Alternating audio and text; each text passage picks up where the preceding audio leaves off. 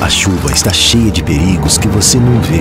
Por isso, evite dirigir em pista molhada, não atravesse trechos alagados e observe o nível de rios e riachos com muita atenção. A água pode subir de repente. Em caso de emergência, ligue 193. Este número salva vidas. Bombeiro, o amigo certo nas horas incertas.